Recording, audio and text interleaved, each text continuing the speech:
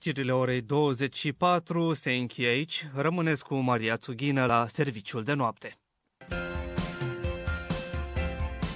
Serviciul de noapte la Radio România Actualități.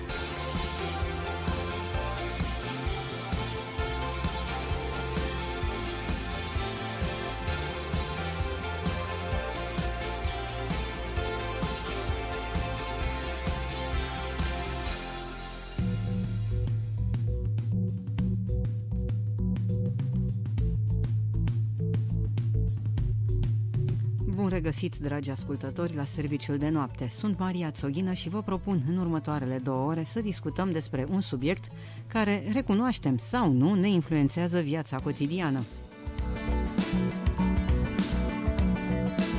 Capriciile vremii sau cum ne afectează viața de zi cu zi schimbările climatice. Poate omul să câștige în lupta cu natura deznățuită? O discuție rece despre o temă fierbinte.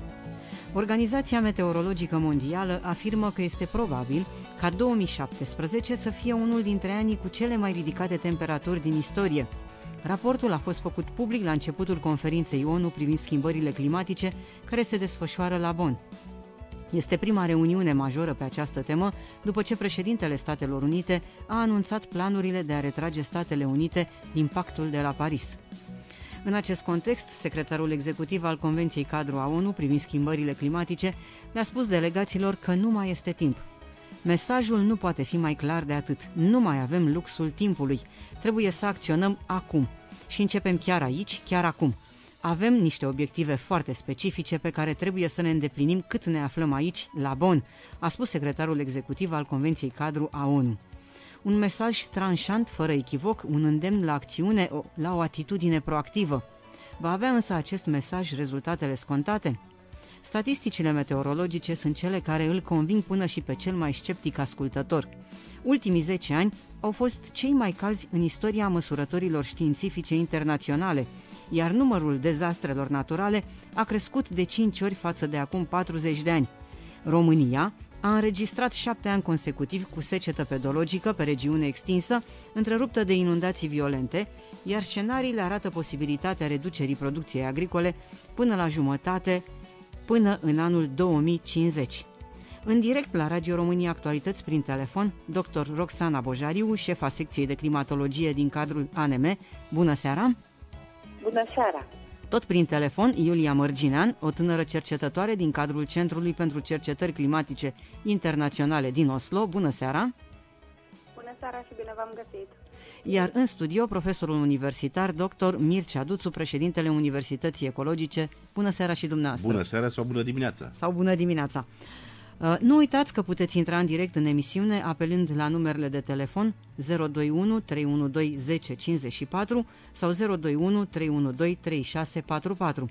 De asemenea, îmi puteți trimite mesaje prin intermediul SMS la numărul 0748 8877 66 sau pe pagina de Facebook Serviciul de Noapte Luni. Ne puteți urmări în direct și video pe site-ul Radio România Actualități. Ascultați Radio România Actualități.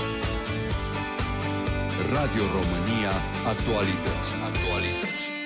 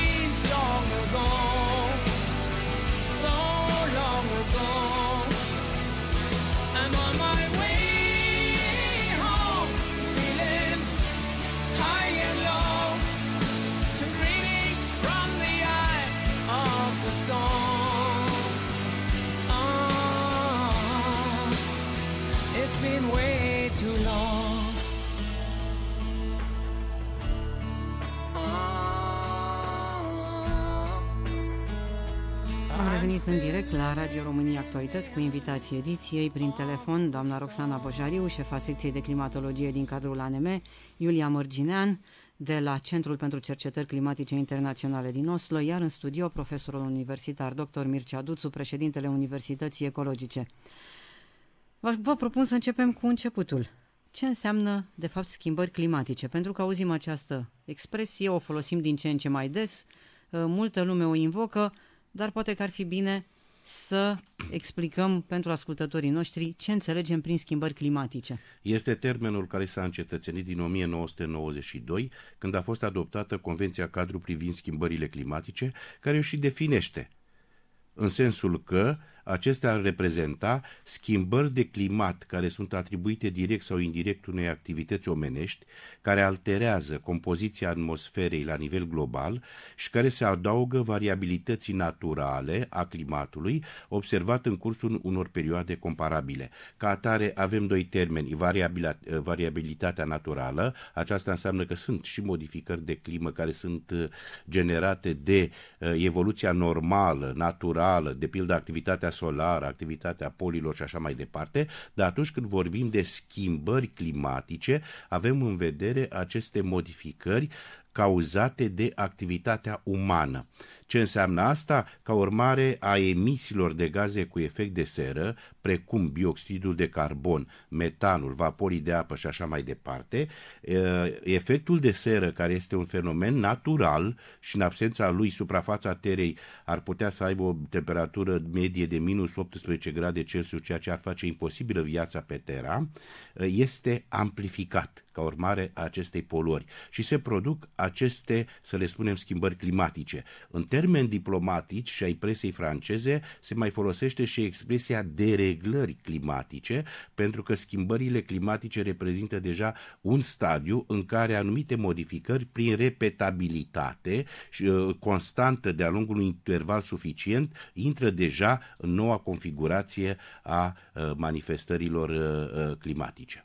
Mulțumim, doamna Bojariu, dumneavoastră, cum definiți schimbările climatice din perspectiva climatologului? Pentru că din perspectivă juridică lucrurile par foarte clare. Da, e o explicație foarte bună și cea a domnului profesor. Aș adăuga că dacă atunci când ai variabilitate naturală, în urma unei perturbații, sistemul este scos din echilibru, el revine la echilibru și atunci ai variabilitate naturală. Dacă o perturbație de alt tip mult mai uh, puternic acționează asupra sistemului climatic și scoate sistemul climatic din starea de echilibru fără să îl mai aducă la starea inițială, și îl duce spre o nouă stare climatică, avem schimbare. Deci diferența între variabilitate și schimbare este aceea că variabilitatea până la urmă înseamnă fluctuații care revin la la starea de echilibru, în timp ce schimbarea duce sistemul de pe o stare de echilibru pe altă stare de echilibru climatic. Trebuie să avem în vedere că documentele internaționale și presa internațională face, nu intră în uh, detalii foarte aprofundate, schimbările climatice sunt datorate activităților omenești, variabilitatea naturală este uh, generată de factori naturali și prima se adaugă secundei. În ceea ce privește sistemul climatic, avem și aici o definiție a Convenției Cadru și îl spune un ansamblu care înglobează atmosfera, hidrosfera, biosfera și geosfera, precum și interacțiunile lor. Pentru publicul larg, fără îndoială că definiția documentului internațional și a legislației se impune pentru că nu este un public specializat. El trebuie să Sigur. Uh, parcurgă și să înțeleagă termenii folosiți la nivel oficial. Am înțeles. Sigur că da. Uh, aș întreba-o și pe uh, Iulia Mărginean de la Centrul pentru Cercetări Climatice Internaționale din Oslo, cum se văd de la nivelul centrului aceste schimbări climatice și cum le definesc ei în interiorul centrului atunci când aplică metode științifice de cercetare. Da, deci aș vrea să ofer o, o explicație mai mult uh, fizico-chimică a ceea ce înseamnă schimbarea de climă. Deci radiația solară în momentul sau căldura de la soare atunci când atinge pământul, um, o parte se absoarbe în pământ și îl încălzește, o altă parte se reflectă înapoi în cosmos. Um, din cauza emisiilor din activitățile umane, o parte din această radiație este blocată în atmosfera Uh, pământului și de aici se, uh, de aici se uh, generează aceast, acest fenomen de încălzire. Efectul de seră. echilibre atmosferice. Exact. Efe- exact. Și de deci fapt, asta de e fapt, o completare e opac. a definiției da. noastre.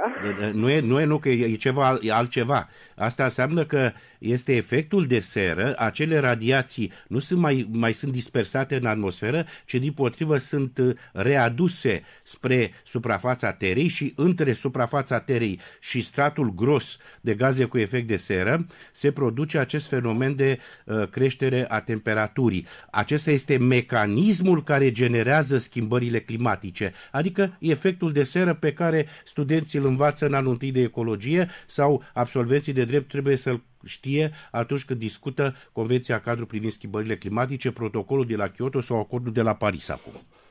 Exact. Aș adăuga și eu uh, faptul că schimbări climatice au existat de-a lungul întregii istorii de 4,5 miliarde de ani pe care Pământul a trecut-o până acum, dar uh, au fost schimbări climatice pe alte scări de timp, pe scări geologice, pe scări mult mai mari de Să timp. le zice variabilități. Și bineînțeles, și bineînțeles, acele schimbări climatice au avut alte cauze decât cauza actuală cea legată de modificarea compoziției uh, atmosferei.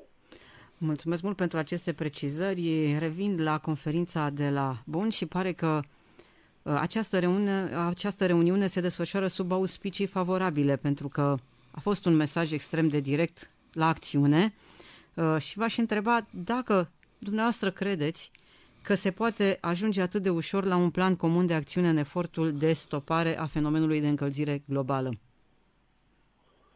Uh, Nu se poate ajunge... Ah, Vă rog, scuze. vă rog. Nu, eu aș Nu- vrea nu să... se- Eu aș Da, vrea să fac spune, câteva spune. precizări anterioare. De ce spunem COP sau Conferința Părților 23?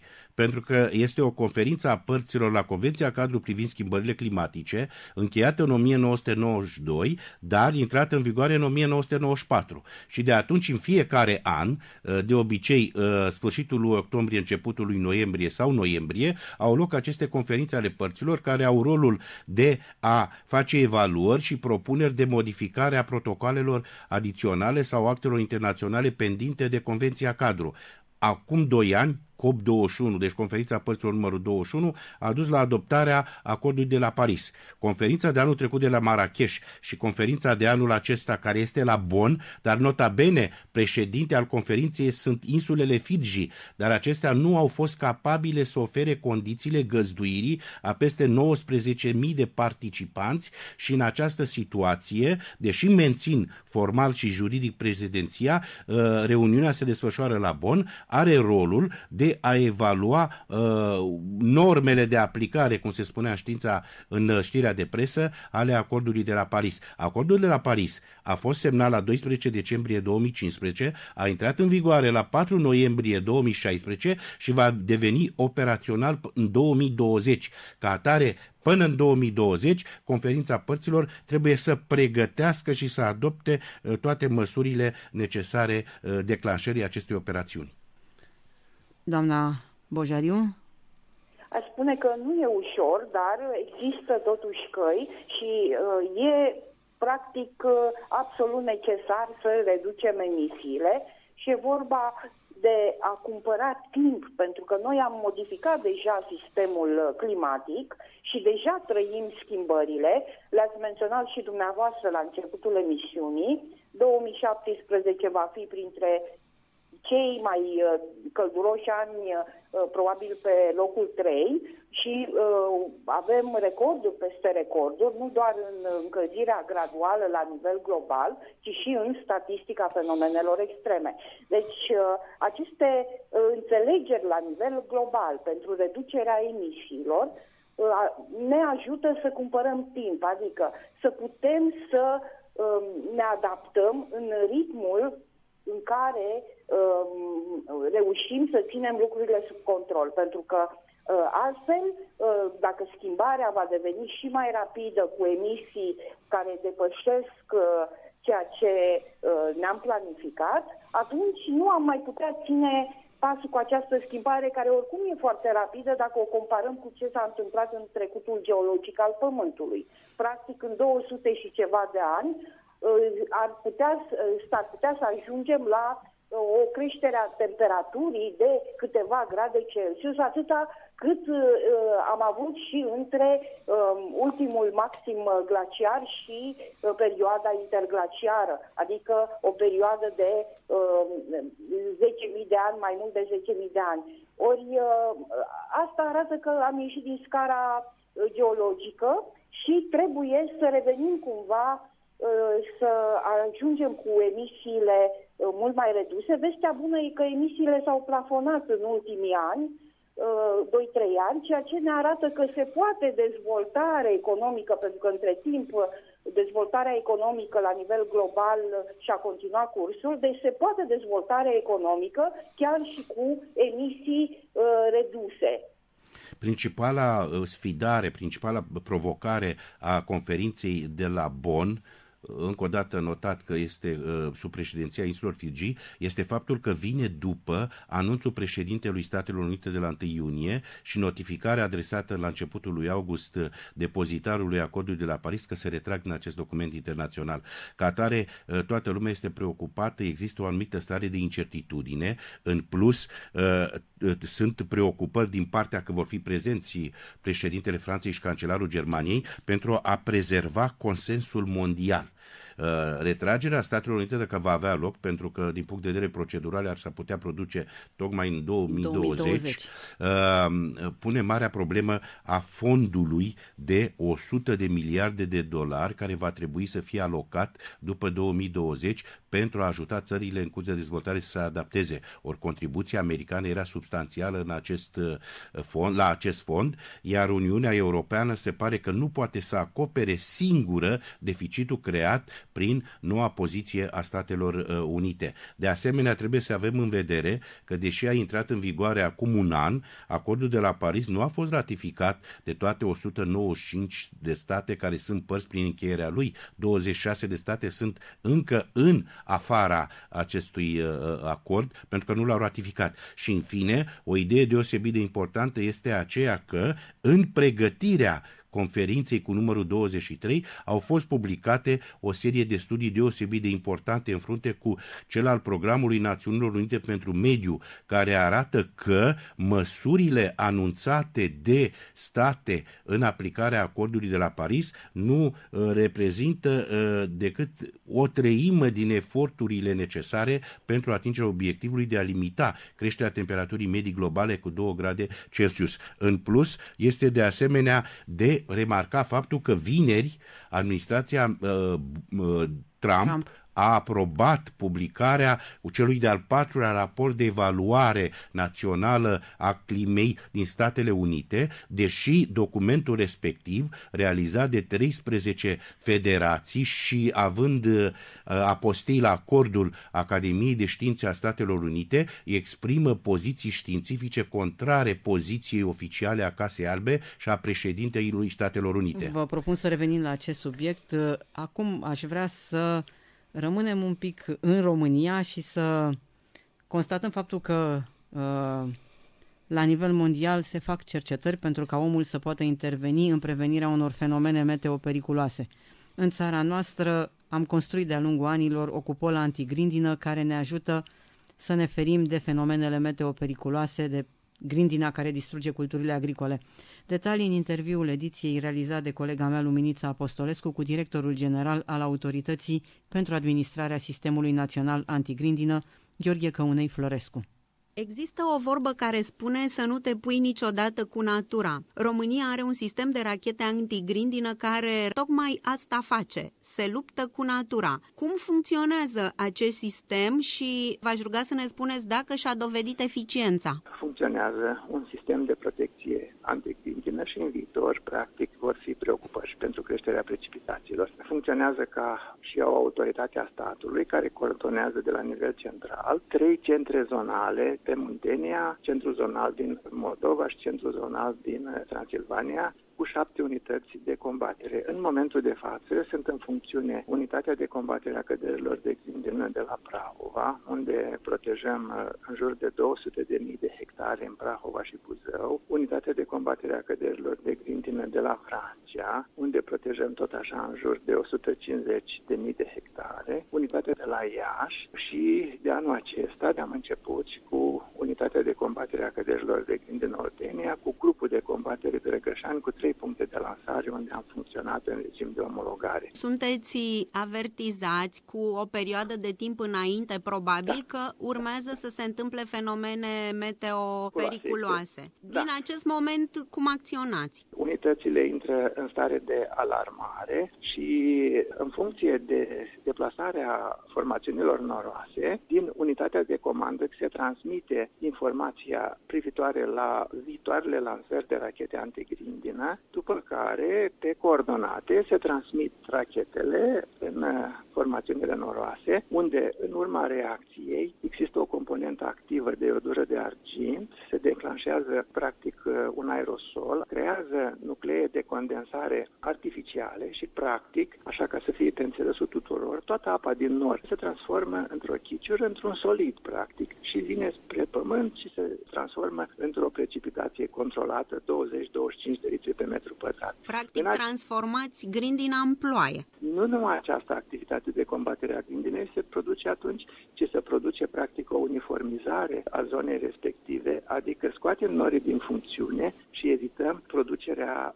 unei mari cantități de apă care în viitor eh, poate să cadă pe o suprafață mică și să producă acele inundații. Și, nu în ultimul rând, practic acolo se creează mediu propice pentru creșterea mm, vegetației, adică a doua zi apare soarele, apa evaporă, nu mai sunt fenomene extreme de furtuni. Ce suprafață a fost protejată până acum și ne putem gândi că această cupolă antigrindină va ajunge să acopere toată suprafața României? Anul acesta noi am funcționat cu 34 puncte de lansare, față de 2016 am dublat capacitatea de protecție și am protejat în jur de 500 de mii de hectare integral. Intenționăm ca în anul 2018 să funcționăm cu 60 de puncte de lansare, deci iată vom dubla capacitatea de protecție peste un milion de hectare. În funcție de alocările de la buget vom uh, ajunge să protejăm întreaga suprafață a României. Cam în Anul- cât timp estimați că se va întâmpla acest lucru? Din calculele noastre, m, până în 2022 vom reuși să implementăm la nivel național. Potrivit calculelor, domnule președinte, la fiecare euro cheltuit cu aceste rachete antigrindină se salvează culturi agricole în valoare de 14 euro. Investiția pare mai mult decât profitabilă. Da, da, așa este. Deci am făcut în fiecare an uh, studii comparate, adică zona unde am acționat, ce pagube am avut și zona unde nu am acționat. Și concluzia, eficiența economică este de 1 la 14. Care este prioritatea zero, să spunem, a instituției dumneavoastră în perioada imediat următoare? Principala prioritate este implementarea de noi puncte de lansare prin unitățile de comandă și este foarte important ceea ce vă spun acum, că a creat și o măsură unde fermierii pot să achiziționeze acele generatoare terestre care pot să le pună în funcțiune cu ajutorul nostru. Cât de tare considerați că ne afectează viața aceste schimbări climatice? Aha, enorm. Aceste schimbări și fenomene extreme, practic, uh, au un impact major asupra calității vieții oamenilor și asupra infrastructurilor și în special asupra agriculturii. De aceea, ca măsură majoră chiar la nivel mondial, în continuare se cercetează ca omul să intervină și să prevină aceste fenomene. Ascultați Radio România Actualități. E multă vreme de când ploaia ne-a îndrăgit. Din prima seară chiar un parc ne-a dăruit. Atâta i-a speriat pe toți cu stropii grei Că ne-a făcut stăpâni pe parc și pe alei Și fericiți copacii uzii scuturam Ca doi copii desculți prin ploaie alergam Ploaia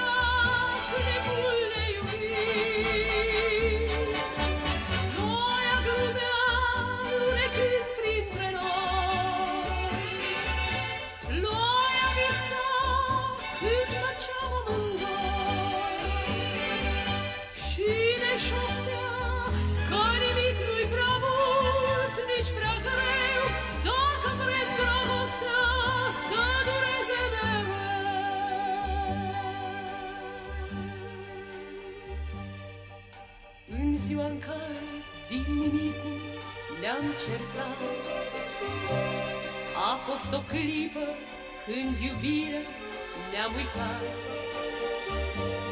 Și pentru o vorbă drumul ni s-a despărțit. Dar ploaia caldă ne-a oprit și dojenit. Stropii grăbiți, urmele pașilor ștergea De bucurie ochii umeri surdeau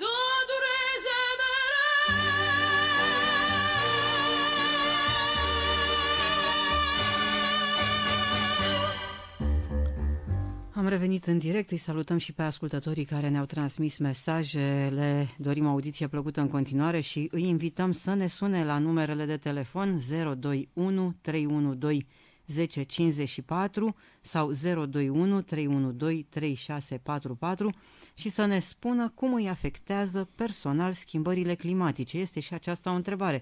Fiecare dintre noi are o percepție asupra ceea ce se întâmplă în mediul în care trăim. Continuăm discuția noastră și aș vrea să vă întreb în ce măsură fenome- fenomenele meteo extreme cu care ne, frum- ne confruntăm din ce în ce mai des sunt o consecință a acestor schimbări climatice.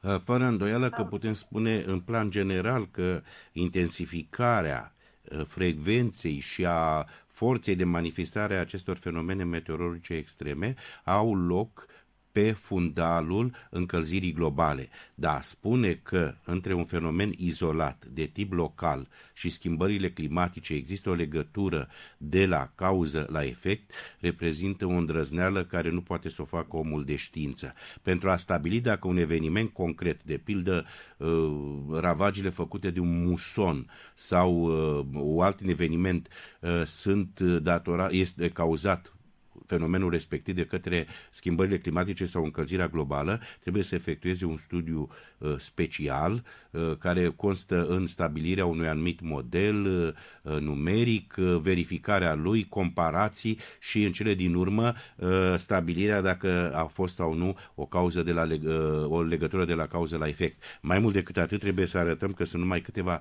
centre sau instituții meteo din lume care pot să-și permită luxul între ghilimele tehnologic și uman de a efectua asemenea uh, analize. Mulțumesc pentru precizări. Vroia și doamna Iulia Mărginean să ne spună câteva cuvinte. Vă ascultăm. Da, deci evenimentele extreme au avut loc uh, de la începutul timpurilor din totdeauna și întotdeauna, de cele mai multe ori există un cumul de cauze naturale și antropice um, care creează aceste evenimente. Este foarte greu și uh, în același timp foarte costisitor și cere o expertiză um, foarte ridicată pentru a decide dacă un eveniment extrem este uh, uh, cauzat în principal din cauze naturale sau antropice. Deci aceste, uh, aceste evenimente de cele mai multe ori sunt uh, imprevizibile și um, la fel cum sunt de greu de, de decis cauzele care le creează, sunt uh, foarte, foarte greu de preconizat evenimentele viitoare. Se, se creează foarte multe uh, simulări ale modelelor climatice și probabil dintr-o sută vor fi unul sau două dintre acele simulări. Știu că dumneavoastră la care, centru uh, lucrați cu anticipează astfel. aceste lucruri. Înțeleg că dumneavoastră la Centrul pentru Cercetări Climatice Internaționale din Oslo lucrați cu astfel de simulări. Da, deci noi facem preconizări și lucrăm cu, cu sute de simulări uh, într-un model um, și de asta spun că este foarte, foarte uh, greu uh, de preconizat uh, momentul în care urmează să se întâmple un asemenea eveniment extrem, tocmai din cauza faptului că uh, este un, uh, un, um, un eveniment instabil uh, și imprevizibil. Uh, de sunt doar câteva mari uh, administrații, institute, structuri uh, meteorologice în lume care își permit să facă asemenea uh, analize și să stabilească asemenea diagnostice. Respectiv două americane, NASA și NOAA, adică uh, Agenția Spațială și Administrația Națională pentru Oceane uh, și Atmosferă, Metofisul Britanic și, dacă nu mă înșel, uh, Japonia, iar în ultima perioadă, Franța. Am înțeles. Aș adăuga și eu... uh, Vă ascult, doamna această Bojariu. temă.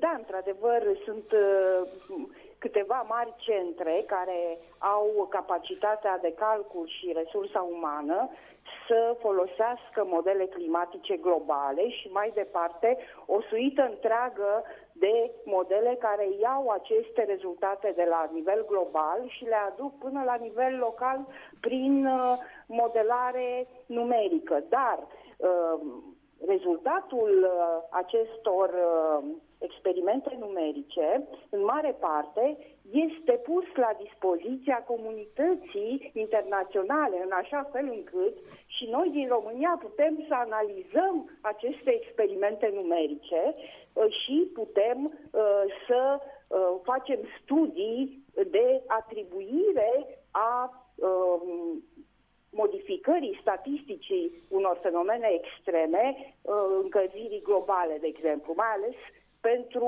cele care vizează România. Deci faptul că uh, doar în câteva mari centre se pot uh, rula astfel de modele complexe nu uh, interzice cunoașterea și în cazul nostru, tocmai pentru că există această uh, deschidere a comunității internaționale. Câte, și câte că proiecte de aceste acest gen voci s-au făcut în comune. România? Păi uh, numai eu am participat la 8 în ultimii uh, 15 ani. În România, Uh, adică de gândiți-vă- atribui. Da, în România. Păi, e sigur foarte că bine da. să dăm exemplu Sunt- care uh, sunt, uh, fenomen X de la data D din localitatea D a avut legătură cu uh, fenomenul Nu e încălzirii vorba globale. De fenomenul, nu e vorba de fenomenul X. uh, De Păi nu asta a fost localitatea discuția. De, ci, e vorba, ci e vorba de statistica unor fenomene extreme și vorbesc, de exemplu, de valurile de căldură. Ue, Uh, una e noi, uh, statistica, avem da. o Astfel, Păi da, pe așa poți să faci atribuția. Nu poți să atribui unui uh, fenomen individual uh, faptul că el uh, este cauzat de schimbarea climei, pentru că clima înseamnă o sinteză Se, a e, acestor exact, dar se fenomene publică pe perioade anual, foarte de timp. pildă anul Și cu- trecut s-a publicat o listă a unor uh, fenomene importante precum musonii de nu știu unde, uh, valurile de căldură din Africa uh, și Da. așa mai departe și au spus aceste Da, fenomene am stabilit dar direct tot pe ca o baza legătură. statisticii. Da, dar s-a făcut o statistică acolo. Nu s-a pus Păi în da, dar numai legătură- ele puteau să o facă, că ei aveau la nivel global. Eu vă propun să ne, op- Încă o dată, da. vă propun să ne oprim pentru o clipă. Avem uh, un uh, ascultător pe fir, uh, așteaptă la telefon, ar dori să adreseze o întrebare. Este vorba de domnul Chivu Nicolae din Fetești sau poate domnia sa dorește să ne spună care este efectul pe care îl resimte în urma schimbărilor globale. Bună dimineața, bună seara, domnule Chivu Nicolae. Bună dimineața, bună seara, mă numesc Ivu din Fetești și Alumița, inventator. Am la OSIM uh, lucrarea U29, motorul cu apă G1, G2. Efectele secetei uh, în România ar putea fi estompate prin folosirea acestui motor, puterile respective la pompele electrice putând să dea toată apa Dunării pusă pe câmpia română în irigații. Mulțumim mult de tot pentru precizări, vă dorim succes, îi mulțumim ascultătorului din Fetești, domnului Nicolae Chivu că ne-a sunat. Reamintesc numerele de telefon 021 312 1054, 021 312 8305.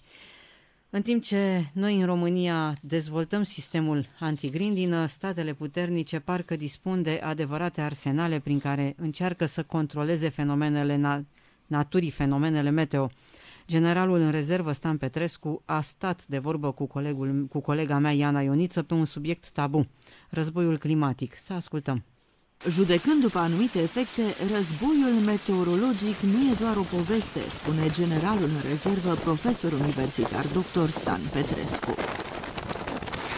În ultima vreme se vorbește tot mai des despre acest război meteorologic, climatic, judecând după anumite efecte care au loc în jurul planetei Pământ și care nu sunt niște simple coincidențe, ci sunt niște efecte dezastroase. Se pare că nu numai că este un sâmbure de adevăr, ci marile puteri care dispun de fonduri și de tehnologie suficient de înaltă, nu numai că l-au pe planșetă, ci îl experimentează cu succes. Astfel că Statele Unite ale Americii, Federația Rusă, dar și celelalte, China, Franța și Germania, ca principale puteri în spațiul geopolitice mondiale, operează cu un asemenea război non-convențional. El poate fi, de fapt, numit o dimensiune, o componentă, potrivit unui analist american, a războiului stelelor. Iar efectele lui, dacă ajunge să fie controlat de către mintea umană, poate să însemne o apocalipsă adevărată pentru planeta Pământ. Prin urmare, acum se vorbește tot mai intens, pentru că unele efecte ale lui au fost simțite pe planeta Pământ. Și astfel putem să amintim aici anul trecut seceta din Federația Rusă, dar se pare că unii analiști spun că și în spatele uraganului Katrina ar fi uh, oarece componenta războiului climatic rusesc, precum și acea ninsoare puternică de la Tel Aviv sau unele ploi extrem de puternice în zonele deșertice. Așadar, cele două sisteme, HARP, care este al americanilor, și SURA, care este al rușilor, sunt într-o stare de confruntare și trăim, dacă vreți, într-un plin război climatic, într-un plin război meteorologic. Sunt investiții extraordinar de mari. Un centru acesta puternic de cercetare la nivelul unei universități în Alaska și mai ales undeva în nordul ei, există o asemenea centru de cercetare foarte puternic unde sunt identificate mii și mii de antene care emit frecvențe joase extraordinar de puternice, iar undeva pe lângă Novgorod există un centru acesta aplicativ al rușilor. Există date din care rezultă că rușii au fost uh, la început cercetători în materie încă de prin anii 1976, când au folosit uh, aparatură militară de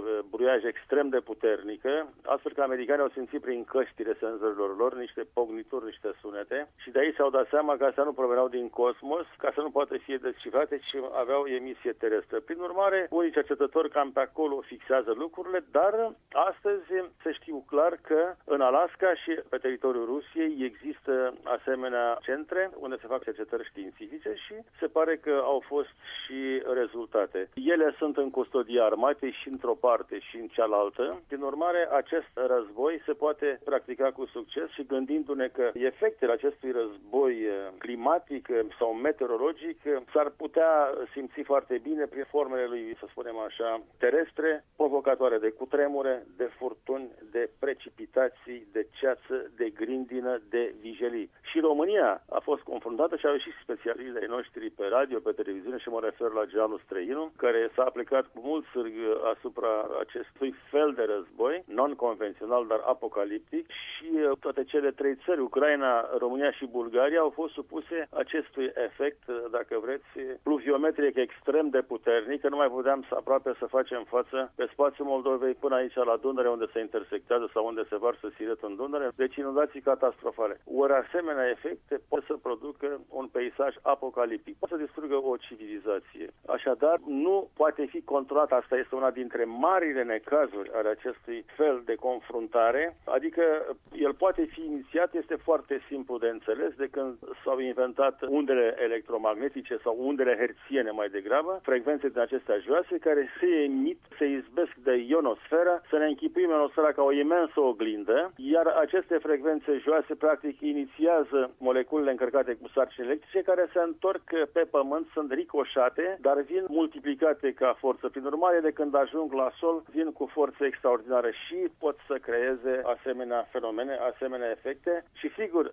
le poți iniția, dar nu poți măsura efectele. Prin urmare, și cel care inițiază, la un moment dat, în asemenea sistem, se poate la rândul lui să beneficieze, până în ghilimele, de efectele devastatoare al acestui fel de război. Eu îi spun un război apocaliptic, poate că este mai puternic decât uh, arma nucleară. Profesor universitar, doctor, general în rezervă Stan Petrescu. Anticii spuneau că Poseidon stârnea furtunile sau făcea ca apele mării să devină liniștite. El scotea insulele la iveală sau le cufunda pe altele lovindu-le cu tridentul său. Făcea să izvorească râuri sau să închege lacuri. A încercat chiar să-l pună lanțuri pe Zeus, dar n-a reușit. De atunci a fost mereu alături de prea puternicul său frate care cârmuia destinele lumii. Poate că asta ar trebui să fie soluția a Evea, cei care stăpânesc furia apelor să-și folosească puterea numai spre binele lumii. Ascultați Radio România Actualități.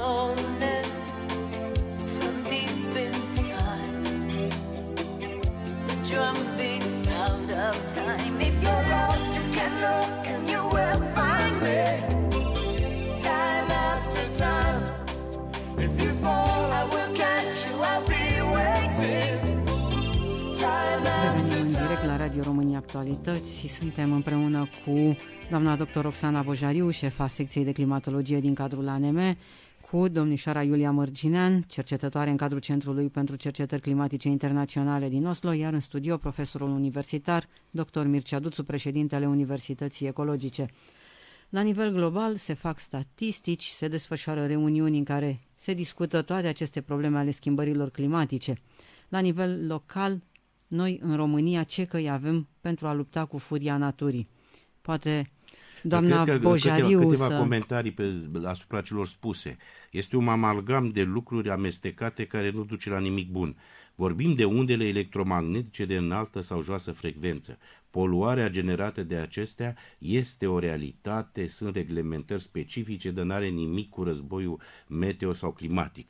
Războiul meteo e una, climatic e alta.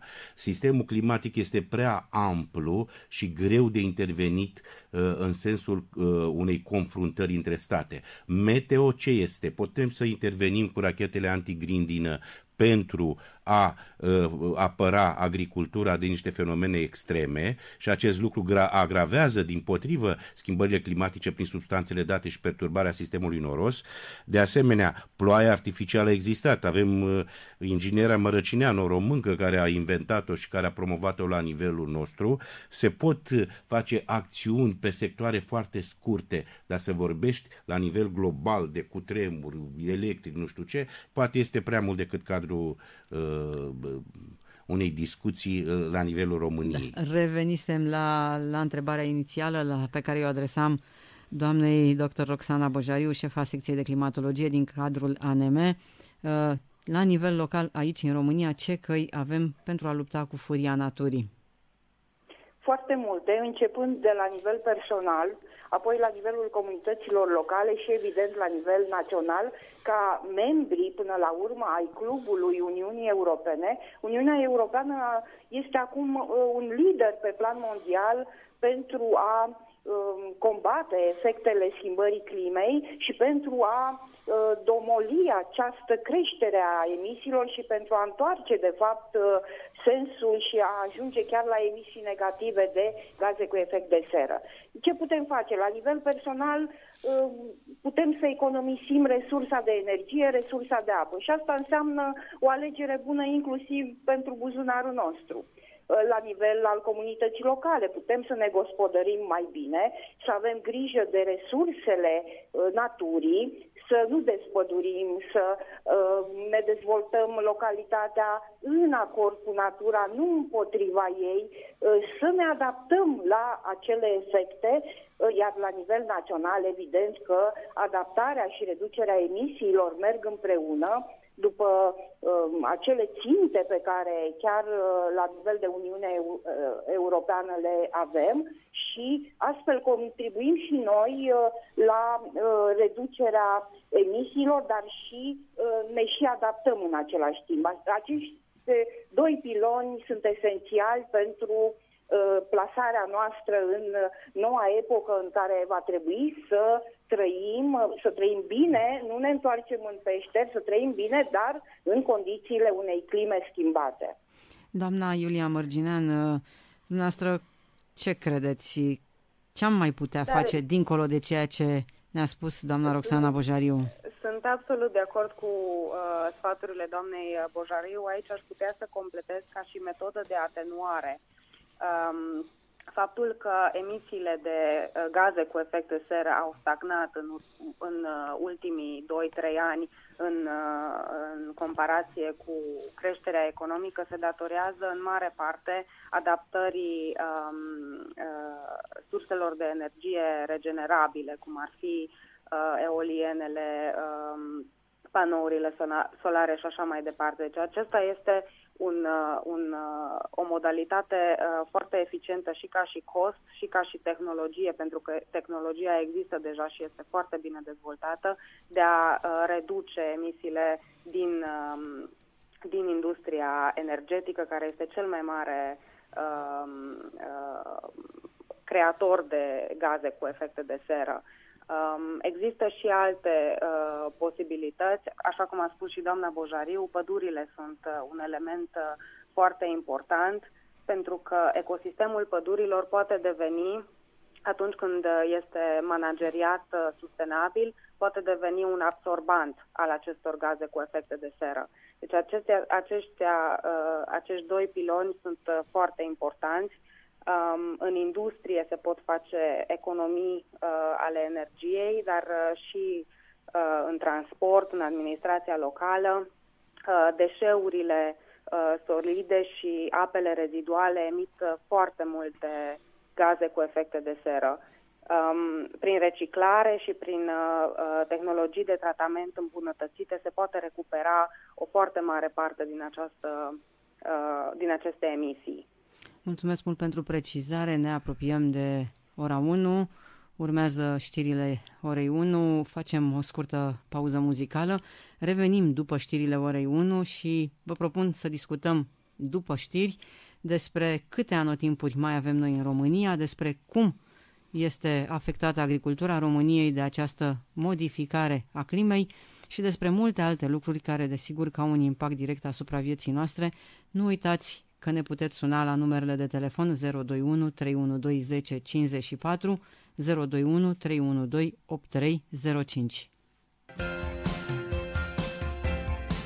Serviciul de noapte la Radio România Actualități.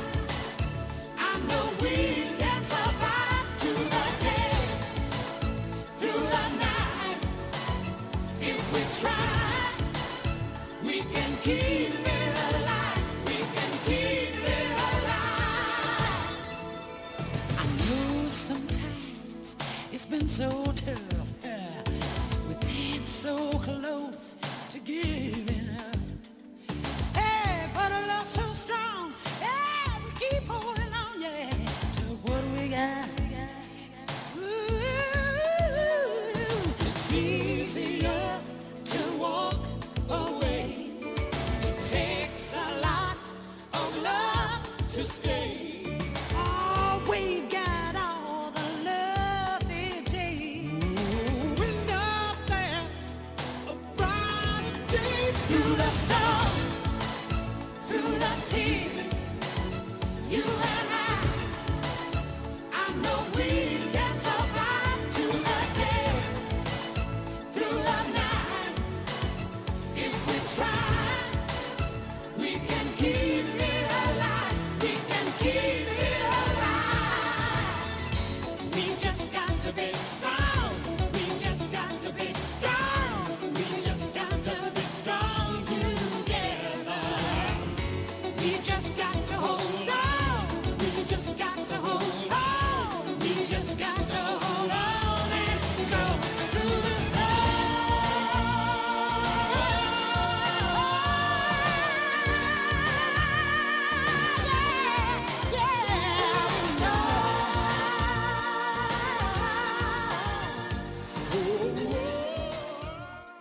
București, Radio România Actualități. Ora exactă.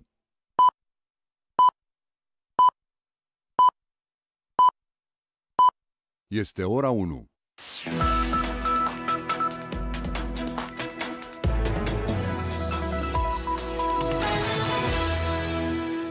Bună dimineața, sunt Mihai Odroiu, ascultați știrile Radio România Actualități. Foștii ministri Radu Berceanu și Adrian Videanu vor fi audiați de Comisia Parlamentară de Anchetă privind alegerile prezidențiale din 2009 pentru a da lămuriri referitoare la schimbarea prefecților și a șefilor de deconcentrate înainte de scrutinul din 2009. Potrivit redactorului nostru Iulia German, la audier va fi invitată și avocata Maria Vasi, care a vorbit în spațiul public despre moartea suspectă a unui judecător care ar fi deținut informații despre desfășurarea respectivelor alegeri. Președintele Comisiei Deputatul PSD Oana Flore a precizat că se impune un cadru legislativ pentru reglementarea activității acestor comisii. Comisiile speciale de anchetă nu au instrumentele necesare pentru a-și desfășura activitatea și atunci este nevoie ca Parlamentul să legifereze cât mai clar și cât mai coerent ce poate să facă o comisie de anchetă. Cred că este nevoie de o lege specială care să reglementeze activitatea comisiilor de anchetă, așa cum au foarte multe țări europene. Oana Flore a declarat că vor fi reluate discuțiile și asupra unei posibile audiere a șefei DNA-ul Laura Codruța Chioveși, dar numai după ce va fi publicată în monitorul oficial decizia CCR privind obligativitatea persoanelor care dețin funcții publice de a se prezenta la Parlament când sunt chemate. Starea generală de sănătate a regelui Mihai s-a agravat, a anunțat biroul de presă al Casei Regale, care precizează că fostul suveran are o slăbiciune accentuată cu o scădere semnificativă a rezistenței organismului. Principesa moștenitoare Margareta și principele Radu s-au întors la reședința privată a regelui Mihai din Elveția, iar familia regală va avea săptămâna aceasta o serie de discuții cu medicii pentru a stabili tratamentul curent al acestuia și pentru a primi sfatul lor în circumstanțele actuale. Regele Mihai, care a împlinit luna trecută 96 de ani, s-a retras din viața publică la începutul lunii martie anului trecut, când Casa Regală a anunțat că fostul suveran suferă de o boală gravă și că a fost supus unei intervenții chirurgicale la o clinică din Lausanne. Cel mai mare târg internațional de turism din lume, World Travel Market, care a început ieri la Londra, promovează destinația turistică Alba Iulia, circuitele culturale, turismul balnear și cel de aventură din România.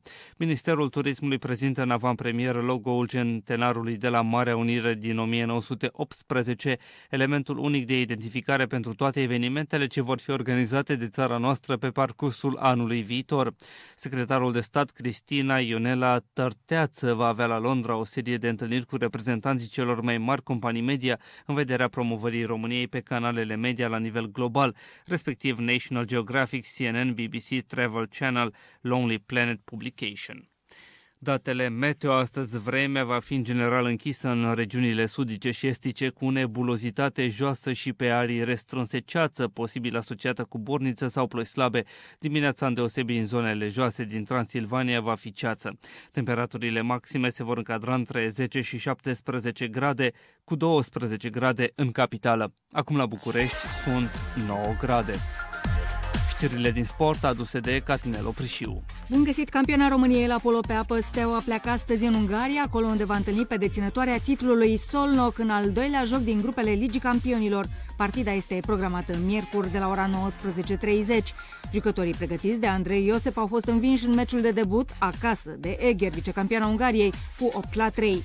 Celelalte adversare ale steliștilor din grupa B sunt Pro Reco din Italia, Sabadell din Spania, Iadran din Muntenegru, Alfen din Olanda și Spandau din Germania. La turneul final de 8 se califică primele trei echipe din grupă, plus Pro Reco în calitate de organizatoare. În divizia 1 la volei masculin s-au jucat ultimele două meciuri din etapa a șaptea. În derbiul orașului Baia Mare, nou promovata Clubul Sportiv Școlar numărul 2 a învins pe știința explorări cu 3 la 2, 17 la 15 în decisiv. Iar la Ploiești, tricolorul a trecut de CS Dinamo cu 3 la 1. În clasament, Steaua este lider cu 18 puncte, fiind urmată de tricolorul Ploiești 17 puncte.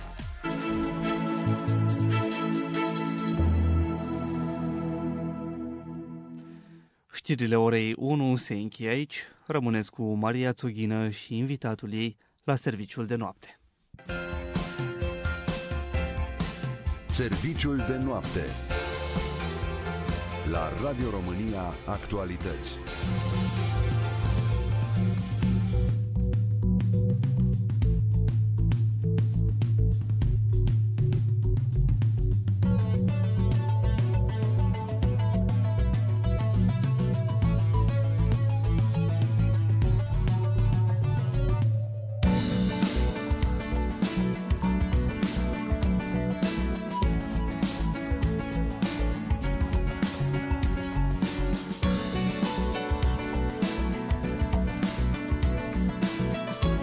Revenim în direct la serviciul de noapte. Capriciile vremii sau cum ne afectează viața de zi cu zi schimbările climatice.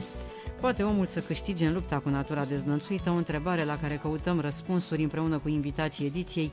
Prin telefon, doamna dr. Roxana Bojariu, șefa secției de climatologie din cadrul ANM, Iulia Mărginean, cercetătoare în cadrul Centrului pentru Cercetări Climatice Internaționale din Oslo, iar în studio profesor universitar dr. Mircea Duțu, președintele Universității Ecologice.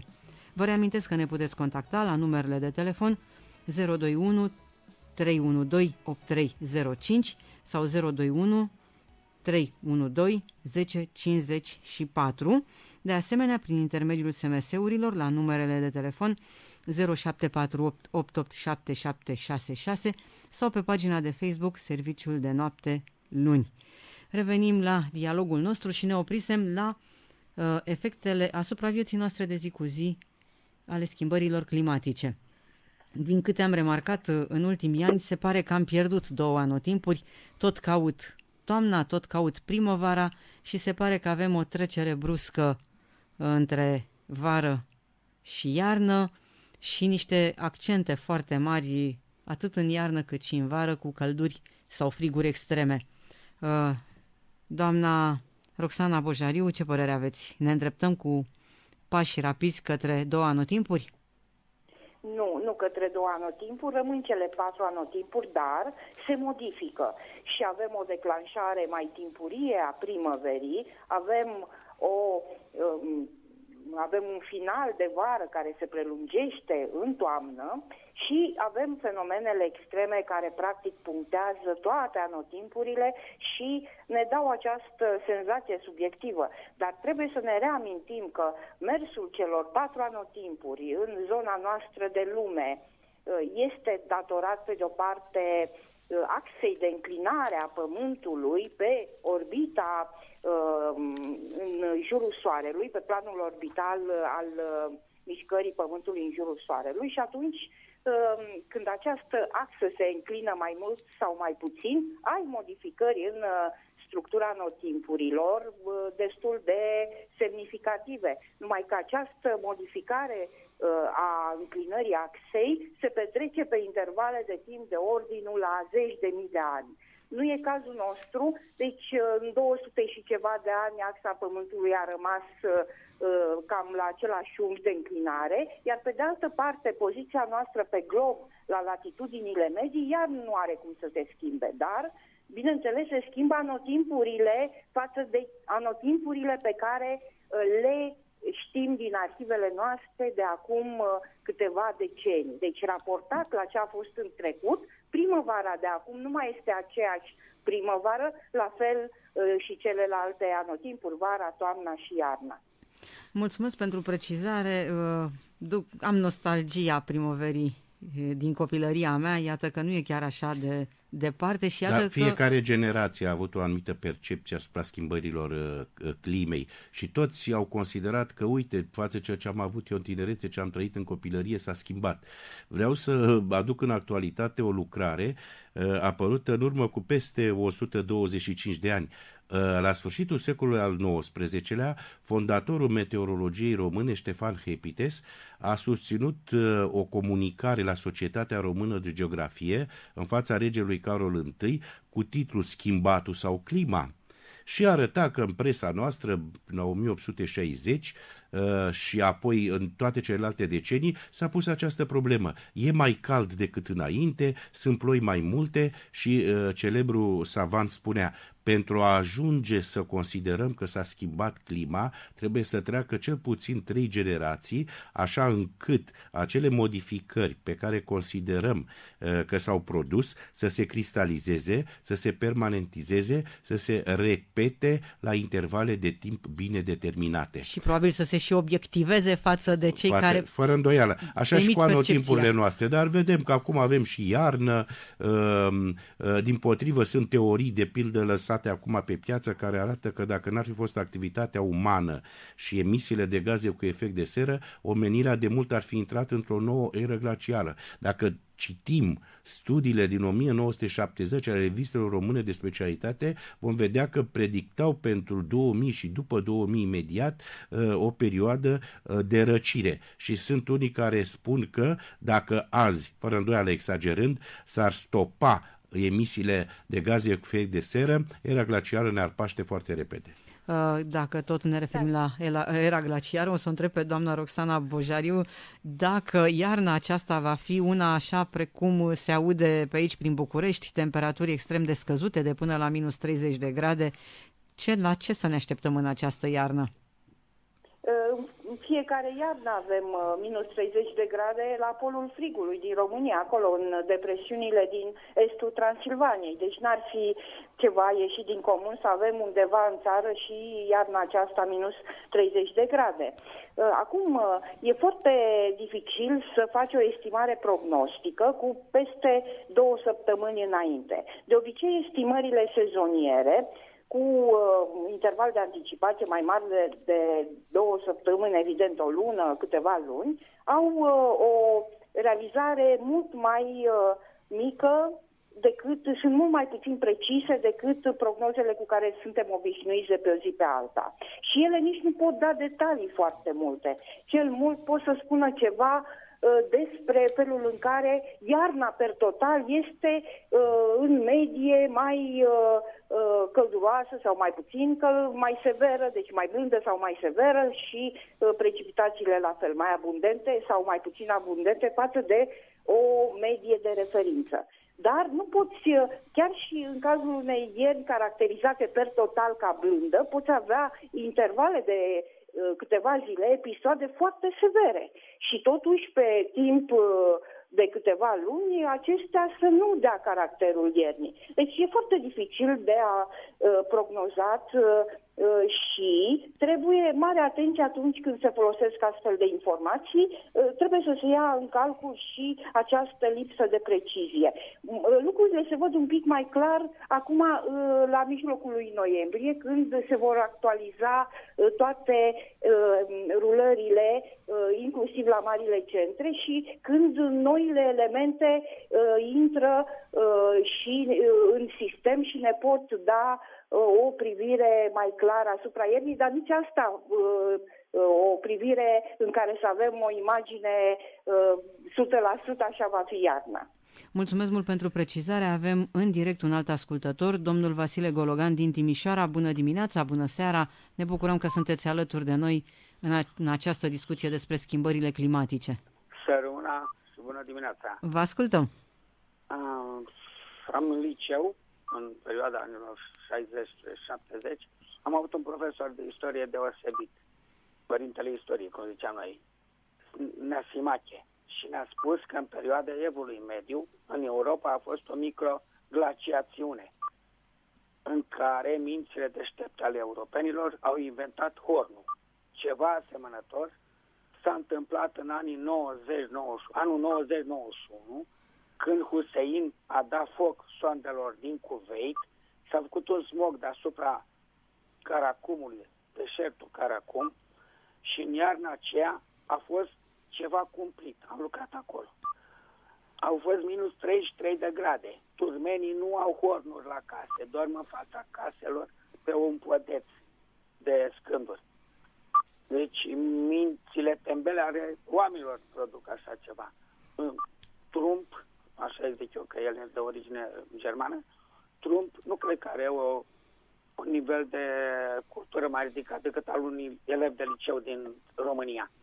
Vă mulțumim. El, eu vreau să aud soluții, nu discuții. Vă mulțumim mult de tot. Era au, și... au defrișat pădurile, au distrus sistemul de irigații. Soluții, nu discuții academice. Pe noi nu ne interesează discuțiile academice. Domn profesor, dumneavoastră știți foarte bine că soluții sunt, dar nu se concretizează. Uh, Și vorbim prea mult, într-adevăr, aveți dreptate. În primul rând, uh, remarca care ați făcut-o până la 1850 a fost o uh, microeră glaciară. Uh, Ceea ce a spus că s-a întâmplat uh, în Irak este adevărat, dar știți că și tot prin 1992-93 erupția vulcanului Pinatubo a aruncat în aer pulberi mari care au, uh, op- au uh, stopat razele solare și nu au mai pătruns în aceeași cantitate asupra Pământului și au uh, determinat pentru o anumită perioadă uh, răcirea atmosferei. Soluțiile sunt, dar sunt costisitoare și trebuie să fim de acord să le implementăm. Uh, Vedeți că, din păcate, la noi toată lumea vorbește despre fenomene extreme, despre faptul că suntem uh, în ultima etapă, că trebuie să urgent să acționăm. Dar nimeni nu vorbește de acțiune și de adaptare. Pentru că se, poate, se pare că tot acest fenomen global a fost scăpat din mână, în sensul că încălzirea globală este implacabilă, schimbările climatice se vor produce, depinde de noi însă să atenuăm rapiditatea cu care ele se vor produce și mai ales să ne adaptăm. Cine se va adapta mai repede, mai complet, va suferi mai puțin și va progresa mai mult. Mulțumesc mult. Aș întreba-o pe Iulia Mărginean uh, cum se vede această adaptare din zona de cercetare, pentru că am în vedere aici schimbările pe care pe termen lung le preconizați în cadrul cercetărilor efectuate. Da, deci există metode uh, și de atenuare a uh, încălzirii globale și de adaptare a uh, societății umane la ceea ce urmează să se întâmple. Uh, cred că e important de precizat faptul că uh, încălzirea globală sau schimbarea de climă nu se poate stopa. Putem doar să luăm măsuri în așa fel încât să ne protejăm societatea și economia cât de mult și o calitate a vieții um, uh, apreciabilă, în așa fel încât să nu simțim efectele uh, la uh, extremă. Um, există, um, în cazul evenimentelor extreme, de exemplu de ploi torențiale și inundații, există um, foarte multe tehnici de, de adaptare, cum ar fi, de exemplu, decopertarea uh, zonelor acoperite cu asfalt, pentru permiterea, pentru că asfaltul și betonul um, uh, oprește infiltrarea uh, apei provenite din furtuni și grindină și inundații uh, să se infiltreze în pământ, iar aceasta creează uh, o stagnare a uh, maselor de apă în, uh, în zonele inundate. Uh, de exemplu, uh, parcările uh, pot fi uh, decopertate și uh, folosite niște tehnologii care permit infiltrarea apei, um, șănțuirea este iar o, um, o metodă de adaptare. Um, în agricultură, uh, cultivarea plantelor rezistente la deșertificare și la secetă. Și în Există România varietăți a, de- avem o deșertificare a solului în ultimii ani. Sigur. Ar, Sigur, deci asta agricultura inteligentă. Dar aș vrea să vă pun Da. o întrebare, dacă îmi permiteți.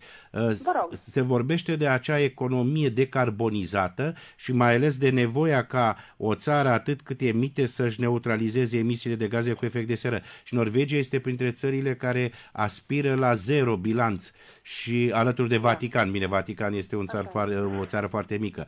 Cum Este și reușește... Danemarca și sunt mai și multe Danemarca. țări. Cum reușește Norvegia, pe care o cunoaște cel mai bine, să facă acest lucru? Uh, Da, deci în, uh, în Norvegia, uh, de exemplu, sistemul energetic este bazat în 97% uh, pe producere de uh, energie din resurse regenerabile, hidroenergie în mare măsură. Da. Asta este cea mai importantă dintre metode. Bineînțeles că există exploatarea uh, resurselor petroliere în continuare, dar uh, uh, există în același timp în aceste companii care explorează, exploatează resursele fosile uh, o tendință de tranziție către folosirea tehnologiilor actuale în um, exploatarea resurselor regenerabile, cum ar fi, cum ar fi uh, eoliene sau uh, um, panouri solare sau investiții în alte țări unde um, panourile solare sunt mai fezabile din punct de vedere um, al eficienței. Uh, Din câte înțeleg, în Norvegia ia amploare și activitatea agricolă. Uh, da, Agricultura în Norvegie este... Pe dacă se uh, dezgheață solul, Dacă se dezgheață solul și se încălzește, poate că cineva profită. Da, uh, se pare N-au că permafrost. lucrurile se dezvoltă, dar uh, foarte încet. Deci produsele, uh, produsele agricole în mare parte sunt importate în Norvegia. Uh, Ceea Încă. ce cumpărăm e foarte, foarte greu să găsim produse locale. Încercăm, dar e, e, e greu. Am înțeles. Deocamdată. Uh, În continuare așteptăm să ne sunați la numerele de telefon 021 312 8305 sau 021 312 1054 pentru a dialoga. Schimbările bruște ale vremii îi afectează pe unii oameni care se plâng în această perioadă de dureri de cap, dar și de astenie. Cum fac față capriciilor timpului de afară cetățenii Republicii Moldova, a aflat Cristina Păpușoi. Pe mine, într-adevăr, mă afectează schimbările bruște ale timpului, mai ales trecerea de la vară la toamnă. În primul rând am uh, dureri de cap, o stare de somnolență. Poți să zici că ești meteodependentă? Da, sunt foarte meteodependentă. Indiferent dacă este brusc cald sau brusc frig, eu întotdeauna simt acest lucru. care sunt bolnavi, clar că suferă, dar oameni sănătoși, în activitate, rog, dimineața se duc, vin, sară, e plăcut. Nu vreau să spun că dacă nu ar fi frig, păi noi ne molipsim de multe boli. Dacă e organismul sănătos, nu se observă lucrurile Sigur, astea. dar și e Dacă mai bine organismul- când este de diferențe brusc. Pentru asta și organismul să crește. De asta dimineața trebuie scolat un, un duș uh, cald, calde, fierbinti, și după aceea reci, și anul timp trebuie și reci și cald. Și atunci noi simțim sănătoși. Trebuie să fim pregătiți pentru asta, pentru temperaturile astea care trec de la un un timp la altul, ele trebuie... Și activitate fizică să aveți. Fără doar și poate. Începând de la copii și până la cei vârstnici. Cât de um, influențată ești de schimbarea bruscă a vremii? Spre exemplu, sunt mai vulnerabil în perioada toamnă spre iarnă, când timpul se răcește și anume simt amețeli, dureri de cap mai des, îmi simt uh, corpul mai slăbit din cauza de lipsă de vitamine. Ai um, o modalitate de a trece mai ușor peste această perioadă? Da, de obicei mă mențin cu cafeaua. Da, devin mai somnolent chiar dacă mă odihnesc uh, corespunzător. În perioada asta când străgești, devin mai vulnerabilă. Personal nu mă afectează foarte tare schimbarea bruscă a vremii. Pot să spun doar atât că probabil la toți oamenii apar durerile de cap, poate și cele musculare, dar nu mă afectează pe mine personal foarte tare. Adică nu ești o persoană meteodependentă? Nu. Eu cred că dacă am uh, niște schimbări sau, uh, mă rog, cei ce ține de sănătate, nu sunt din cauza schimbării vremii neapărat. Serviciul de noapte la Radio România Actualități. Am revenit în direct. Domnule profesor Mircea Duțu, Trebuie să facem sunteți și- meteodependent? Nu, dar schimbări, problema schimbărilor climatice se pune și în altă dimensiune, as- în sensul impactului ei asupra sănătății. Un raport publicat la 31 octombrie 2017 de Organizația Mondială a Sănătății arăta că schimbările climatice au deja un impact concret asupra sănătății. Valurile de căldură provoacă stres termic și agravează o insuficiență cardiacă și riscul crescând de insuficiență renală legată de deshidratare. Și în fine, documentul are următoarea concluzie. Simptomele provocate de creșterea temperaturilor medii și multiplicarea evenimentelor meteo extreme sunt clare de câțiva ani, iar impactul lor asupra sănătății e mult mai grav decât s-a crezut. Așa cum se arăta și în emisiunea dumneavoastră, trebuie să facem departajarea între fenomenele meteorologice care sunt uh, uh, manifestări naturale, bruște, uh, care se produc și se consumă efectele uh, relativ rapid, față de fenomenele climatice care presupun o anumită durată, o anumită repetabilitate și ca atare și uh, problematica efectelor meteodependente asupra sănătății și a schimbărilor climatice în privința efectelor medicale să fie clar uh, departajate, pentru că uh, ceea ce vreau să spun, uh, avem nevoie și de ceva mai mult decât de măsuri, de educația individului. Uh, Dacă în uh, rândul UNESCO, Organizației Naționale Unite pentru Educație, Știință și Cultură, avem promovată de câteva decenii educația relativă la mediu, uh, cred că, mai ales în țările afectate din ce în ce mai evident de efectele încălzirii globale, ar trebui să introducem într-un fel educația privind schimbările climatice. Și această educație să aibă două paliere. Unu, unu să privească contribuția fiecăruia dintre noi la uh, atenuarea uh, fenomenului, prin comportamente favorabile reducerii emisiilor de gaze cu efect de seră și un altul să privească adaptarea ce trebuie să facă individul de la cea mai fragedă vârstă și până la senectute în vederea adaptării lui individuale și în cadrul colectivității la noile date uh, ecoclimatice. Din perspectiva... Și radioul are o mare responsabilitate în acest sens, mass media în general, școala și așa mai departe.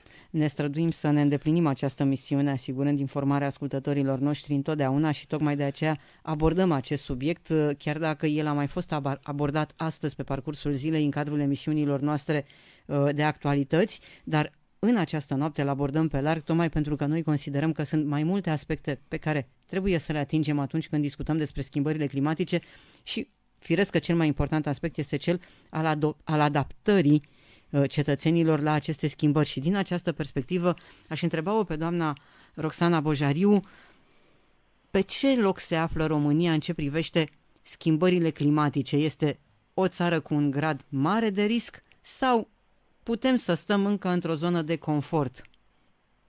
Până la urmă nu există regiune de pe Terra care să nu fie afectată de schimbările climei. Dacă vorbim însă de risc, introducem pe lângă factorul climatic, hazardul climatic și noțiunea de impact al hazardului climatic asupra societății, unei, unui tip de societate. Uh, și riscul, ca să puteți uh, să vă imaginați mai ușor, atunci, de exemplu, când avem o uh, furtună puternică în deșert unde nu ai nicio localitate, riscul e zero. Dar dacă ai o furtună puternică care se abate asupra unui oraș, riscul este foarte mare. Deci și dimensiunea asta a dezvoltării socioeconomice trebuie luat în calcul atunci când vorbim de risc Uh, legat fie el și de hazardurile climatice, pentru că hazardurile climatice au un impact acolo unde ai uh, dezvoltare, uh, societate,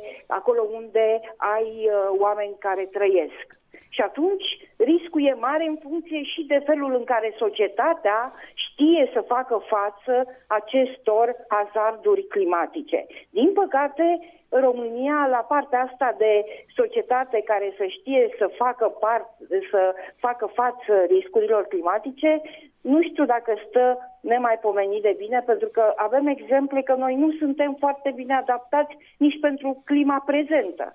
Vă închipuiți atunci când apar modificări în viitor care accelerează ceea ce vedem acum. Bănuiesc că vă referiți în primul rând la faptul că atunci când apar anumite alerte meteo, în continuare sunt cetățeni care ignoră toate semnalările da, și toate avertizările. Un raport european arăta că din punct de vedere al fenomenelor meteorologice extreme, România este cea mai sensibilă la valurile de caniculă vara uh, și ploile torențiale și inundațiile uh, plasate uh, în perioada primăvară toamnă. Din perspectiva adaptării, într-adevăr, trebuie să avem în vedere că uh, orașele românești sunt deosebit de vulnerabile și uh, efectul negativ al, uh, sau impactul negativ se produce de multe ori la intersecția dintre neglijența umană și intervenția fenomenului natural. Să ne aducem aminte ceea ce s-a întâmplat în Timișoara. E adevărat că au intervenit acea vijelie, acea furtună puternică, dar a venit pe un teren deosebit de sensibil în condițiile în care Uh, deopotrivă amenajarea urbană și atenția autorităților uh, chemate să aplice legea în privința modului de uh, realizare a lucrărilor și existența copacilor în oraș au dus din această perspectivă la întâmplarea consecințelor negative respective. Se vorbește foarte mult și sunt deja experiențe adevărat în țările dezvoltate, pe cum Franța și Anglia, de o organizare smart a orașelor, inclusiv din perspectiva schimbărilor climatice. Este Iar... o temă la care vom reveni și noi. Această temă a orașelor smart începe să fie discutată în da. România și o vom prezenta și noi ascultătorilor. Dar din perspectivă ecoclimatică, nu din perspectiva economică și de tehnologică dominantă la noi acum, pentru că asta presupune uh, cercetări foarte aplicate pe cartiere, pe insule de căldură, pe modul de, rea, uh, de existență a căilor de comunicație, ce fel de clădiri sunt și pe baza acestor concluzii să se elaboreze un plan de adaptare inteligent pentru localitatea respectivă. Mulțumesc pentru precizări. Vă rog, vă ascult. Da, cred că aici intră în uh, joc și uh, noțiunea de vulnerabilitate, pentru că în, uh, în speță în uh, cazul uh, valurilor de căldură există uh, un grup destul de mare de uh, oameni care prin profesiile lor uh, trebuie să se expună acestor temperaturi foarte ridicate. Și aici vorbesc despre muncitorii în construcții care uh, zi de zi lucrează 8-12 ore uh, în, uh, în căldura de afară sau în, uh, în ploaie, lucrătorii din agricultură, dar un exemplu uh, foarte, foarte clar um, este uh, și sunt și muncitorii din uh, fabricile de pantofi, de exemplu, care se expun, care lucrează cu adezivi, iar în, uh, la temperaturile ridicate aceste componente toc- toxice din adeziv se evaporă Și și, sunt sunt mult mai inhalate agresive. de Așa este. uh, oamenii care lucrează cu, cu ele. Deci cred că este foarte important de menționat că angajatorii uh, acestor, uh, acestor oameni uh, să preia o parte din responsabilitate și să îi echipeze cu echipament adecvat și cu condiții de muncă uh, uh, Aici, serios, Da, astea uh, sunt de condiții, asta e calitate. medicina muncii și Ai- securitatea aici intrăm, muncii. Aici, aici intrăm pe zona pă, prevenției și a protecției. Și de obicei e bine reglementată și că mai în toate țările e, lumii. e și... bine reglementată și câteodată insuficient respectată. Da, Vă propun să facem o scurtă Da. pauză muzicală, după care revenim în direct și poate discutăm și despre experiența norvegiană în această uh, perspectivă de adaptare. Ascultați Radio România Actualități.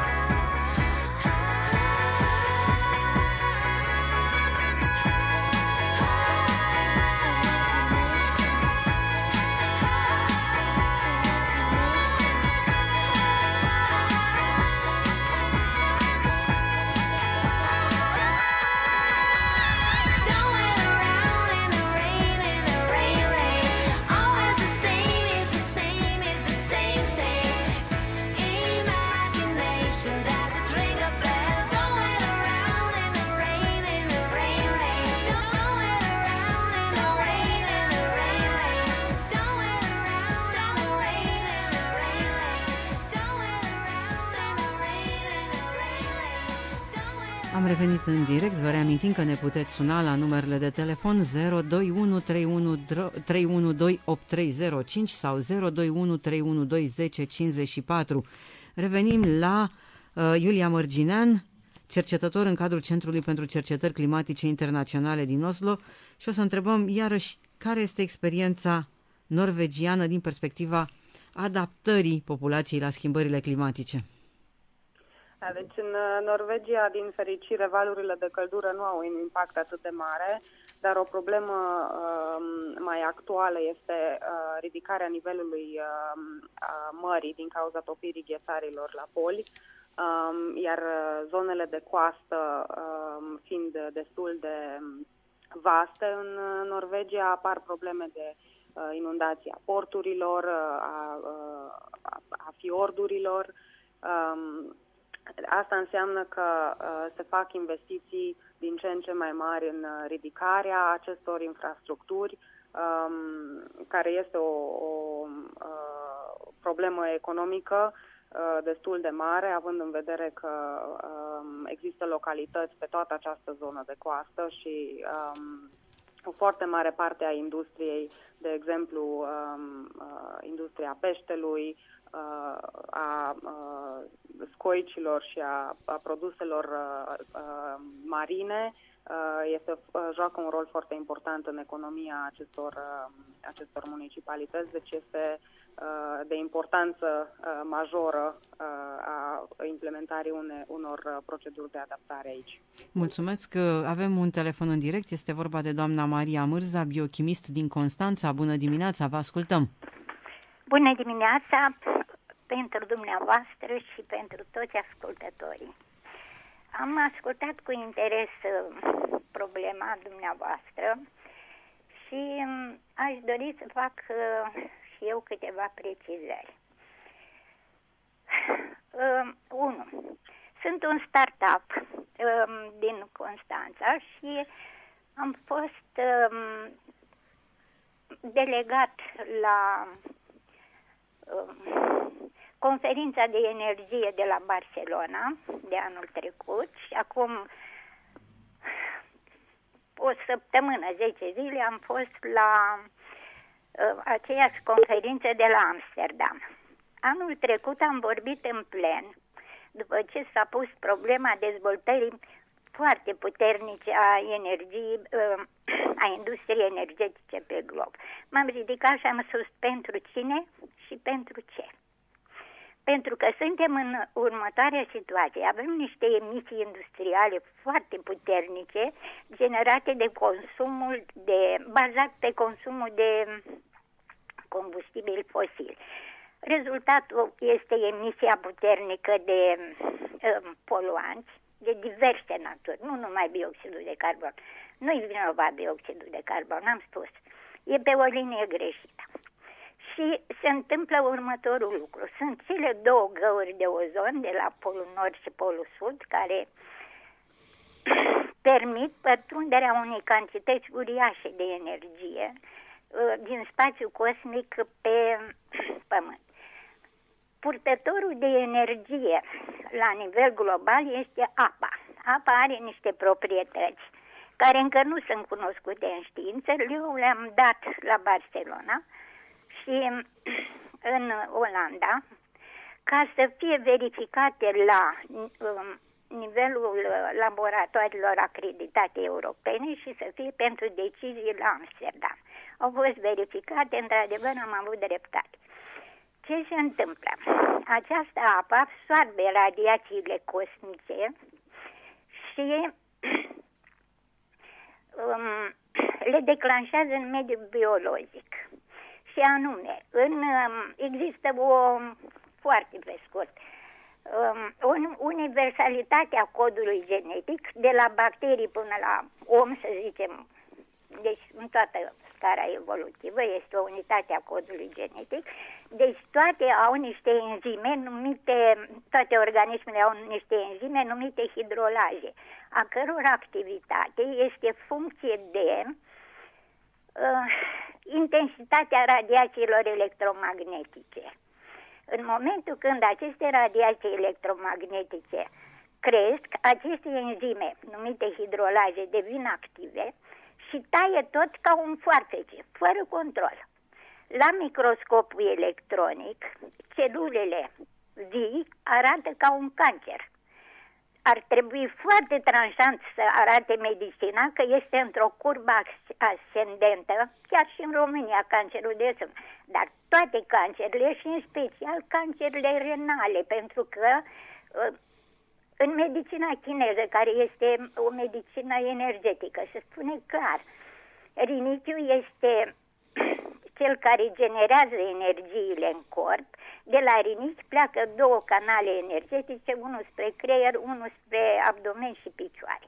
Deci revenim la noi, la situația noastră. Dacă aceste găuri nu sunt distruse, adică distruse în sensul să fie acoperit, să fie distruse energie, ăstea... Să se refacă stratul de ozon. A, să se înțeles. refacă stratul de ozon cât mai repede, da. pentru că se întâmplă următorul lucru. Eu am spus, biologicul dispare în 100 de ani. Dumneavoastră ați spus, acum așa mai am mâna termenul, dar tot îi punea la gât, 200 de ani. Deci în 200 de ani planeta va fi deșert lunar. Deci dacă nu se iau măsuri, imediat anul acesta am fost surprinsă când am văzut că tot ce am vorbit eu am intrat pe punctul numărul 1 la um, Amsterdam. Deci, uh, trebuie să trece rapid um, on, la schimbarea uh, profilului uh, industriei energetice pe uh, energii regenerabile, deci... Mulțumim da. mult de tot pentru precizări, am înțeles ideea, uh, cred că putem Avem continua. și noroc pentru că aceste găuri în stratul de ozon, uh, potrivit ultimelor estimări, în jurul anilor 2040-2050, ar putea să fie să dispară în sensul bun al termenului, în sensul că să se refacă stratul de ozon care a fost uh, sărăcit, rărit acolo. Uh, Asta este o veste foarte bună și cred că uh, putem să fim uh, optimiști, dar termenul este foarte lung și numai dacă acționăm în mod Da. susținut la nivel global pentru a Păi recupera. s-a, acolo s-a A acționat fost de mult. protocolul de la Montreal din 1987 și este o poveste fericită care ne arată că atunci când comunitatea internațională uh, acceptă uh, știința și acționează, rezultatele se văd. E adevărat că în cazul uh, substanțelor care distrugeau stratul de ozon, a fost uh, mai ușor să fie modificată tehnologia și uh, să fie eliminate aceste substanțe, pentru că uh, ele ocupau doar Și s-au găsit uh, un locuitor sector. mult mai rapid. Da, în timp ce acum vorbim în cazul schimbării climei de inima uh, întregii economii. Dar uh, nu înseamnă că nu poate fi uh, schimbată uh, această uh, paradigmă și în cazul gazelor cu efect de seră. Dar mai greu. Oricum, mergem înainte. Eu sunt optimistă, moderat optimistă.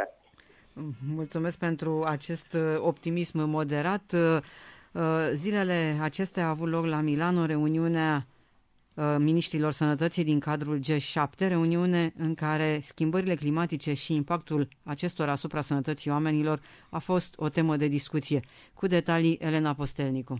În cadrul reuniunii de la Milano s-a pus accentul pe poluarea atmosferică, cu atât mai mult cu cât 90% dintre orașe, inclusiv cele din peninsulă, au un standard de aer care nu este adecvat recomandărilor Organizației Mondiale a Sănătății. 7 milioane de persoane au murit din cauza poluării atmosferice sau din cauza unor fenomene extreme, ca valuri de căldură, precipitații excepționale și secetă. Impactul asupra mediului are efecte directe asupra sănătății ființelor umane și chiar asupra animalelor, afectând puternic condițiile de viață și de muncă. La fel ca la summitul G7 de la Taormina din luna mai, reținerea asupra schimbărilor climatice au existat din partea Statelor Unite ale Americii, însă potrivit ministrului sănătății din Italia, Beatrice Lorenzin, s-a ajuns la un compromis referitor la acordul de la Paris asupra climei, din care Statele Unite s-au retras. Beatrice Lorenzin a anunțat că s-a semnat un document în care Statele Unite își mențin poziția, dar acceptă impactul factorilor climatice asupra sănătății persoanelor. Este nevoie deci de o implicare politică puternică, recunosc reprezentanții celui mai important stat din lume, pentru a opri degradarea mediului, să se ofere asistența necesară în țările cele mai sărace și cele afectate de conflicte promovând o acțiune coordonată pentru a întări sistemele sanitare în conformitate cu principiile eficacității ajutoarelor. În acest context, trebuie să fie combătute lipsa forței de muncă din sănătate și lipsa fondurilor alocate de state pentru a atinge obiectivul unui acces sporit la asistența medicală. Deci, deși G7 nu poate să decidă nimic în privința finanțărilor, a impus însă o direcție a angajamentelor celor mai industrializate șapte state din lume. Serviciul de noapte la Radio România Actualități.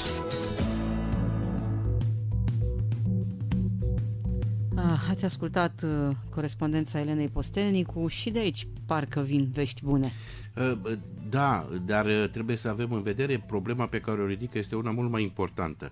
Uh, Schimbările climatice sunt o problemă majoră pentru contemporaneitate, pentru fiecare dintre noi, dar să nu uităm și cu această ocazie să nu supralicităm problematica îngălzirii globale în defavoarea altor probleme precum poluarea aerului. Se arăta acolo, nu avem măsurători prea eficiente în București și monitorizări. Suntem chiar uh, sensibili de a fi uh, acționați în fața Curții de Justiție a Uniunii Europene în privința uh, planurilor de uh, urmărire a poluării din marile orașe, pentru că particulele M10 și M2,5, care sunt deosebit de fine, provocate, emise special de motoarele diesel, uh, pot să provoace cancere, iar această legătură de la cauză la efect a fost dovedită de studii a- acceptate de către uh, Organizația Mondială a Sănătății. De asemenea, vorbim de această poluare electromagnetică, dar uităm faptul că dezvoltarea extraordinară a comunicațiilor fără fir în frunte cu telefonia mobilă a generat uh, creșterea în marile orașe uh, a acestei poluări cu consecințe încă nepe, nu pe deplin stabilite în privința sănătății umane. Cert este că atât uh, câmpurile electromagnetice de joasă și de, cât și cele de înaltă uh, frecvență pot să provoace în anumite condiții cancere, fiind clasificate în categoria 2B, posibil cancerigene. Ca atare, nu, uh, trebuie să acordăm atenție tuturor uh, acestor uh, fenomene și, de pildă, în țările uh, occidentale, Germania, Franța, marea problemă este legată de folosirea unui erbicid, glifosatul, care are o importanță economică deosebită, dar s-a dovedit că este cancerigen, mai ales pentru persoanele care îl manipulează în cadrul agriculturii sau pe cale indirectă dacă este folosit în exces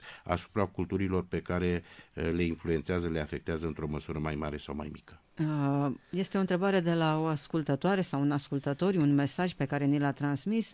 Uh, Ne salută, ne întreabă de ce la o oră atât de târzie este această emisiune, așa este programată în grilă și ar dori dacă poate vreunul dintre invitați să-i ofere câteva detalii legate de inversarea polilor magnetici și ce anume dacă cineva dintre dumneavoastră are detalii legate de memoria apei.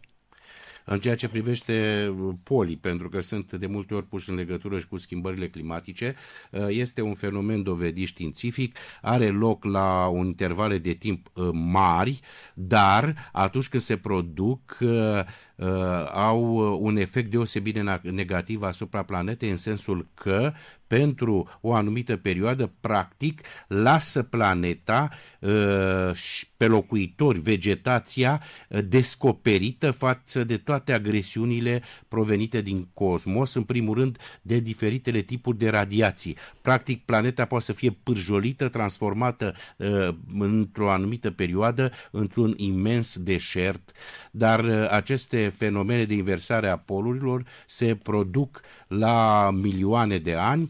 Unii spun că am fi într-o fază iminentă de realizare a unui asemenea fenomen, alții consideră că totuși nu putem să stabilim cu exactitate când el se poate produce. Uh, și nu are influență climatică. Nu are mă influență așteptam ca doamna Bojariu să completeze aici Dar ceva. poate pe perioada în care are loc operația respectivă suntem uh, uh, lipsiți de acest scut protector și Magnetic. Câmpul deosebit de geomagnetic uh, terestre vulnerabil. Dispare, da. da.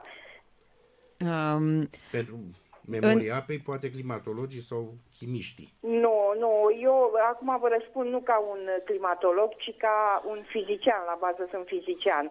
Și uh, poveștile cu memoria apei sunt doar povești, nu au uh, o fundamentare științifică serioasă. Uh, asta vă spun ca fizician, nu ca un climatolog uh, din Administrația Națională de Meteorologie. Mulțumim pentru precizare, dar sunt întrebări pe care aș- ascultătorii și Sigur, le pun și este sigur. bine să primească un răspuns de la Sigur.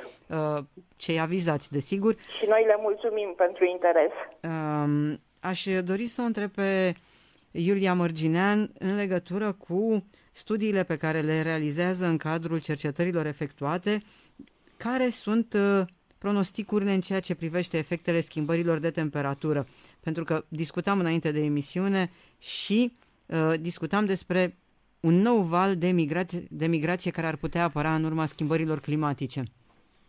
Da, deci în legătură cu uh, schimbarea climatică, în, din punctul de vedere al pronosticurilor, există uh, mai multe uh, simulări în funcție de strategiile de atenuare și de adaptare pe care le, le vom lua. În ceea ce privește migrația, um, uh, cele mai afectate zone de valurile de căldură, cel puțin uh, cu ce uh, lucrez uh, eu acum, um, sunt uh, zonele tropicale, latitudinile tropicale, um, în care uh, o foarte mare parte din uh, agricultura um, uh, lumii se dezvoltă și de unde se exportă uh, foarte multe produse agricole. Uh, dacă aceste um, resurse uh, de teren arabil și agricol uh, sunt, uh, de, uh, trec printr-un proces de deșertificare, oamenii care lucrează aici și care își vor pierde uh, sursa de, de uh, venit și de mâncare, uh, se uh, presupune că vor migra uh, la nord și la sud uh, în căutare de oportunități mai bune. Um, avem, uh, uh, problema este uh, uh, cu atât mai mare cu cât uh, uh, măsurile pe care le luăm sunt uh, încetinite de problemele politice și economice cu care ne, uh, de care ne lovim, dar uh, putem avea prin comparație uh, evenimentele din uh, ultimii uh, 2-3 ani cu uh, migrarea din uh, Orientul Mijlociu, care a uh, uh, presupus o problemă majoră în Europa și uh, în Statele Unite.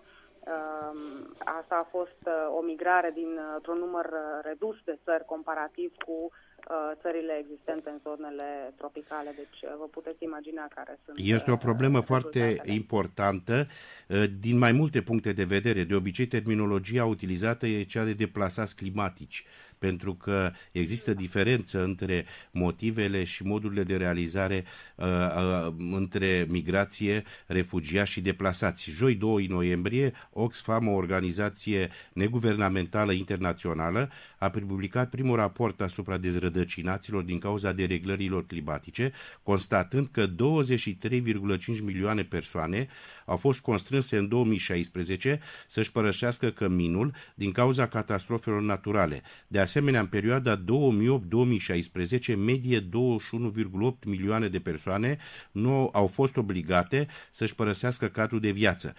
Trebuie să arătăm că dacă nu se iau măsuri pentru stoparea efectelor negative ale schimbărilor climatice, până la sfârșitul secolului s-ar putea ca un miliard de persoane să uh, sufere din această cauză. Ceea ce este important este faptul că trebuie o nouă abordare din punct de vedere uh, juridic. Convenția privind uh, refugiații din uh, 1951 nu se aplică deplasaților uh, climatici pentru că ea presupune persecuții de ordin politic și economic, uh, și uh, depășirea de multe ori a granițelor politico-statale. Ori, în multe cazuri, deplasații uh, uh, de mediu sau ecoclimatici uh, uh, fac această operațiune în cadrul acelui stat. Mai mult decât atât au fost înregistrată o experiență tristă în ceea ce privește situația uh, mai sute mii de persoane din insulele din Pacific, Tuvalu, Kiribati,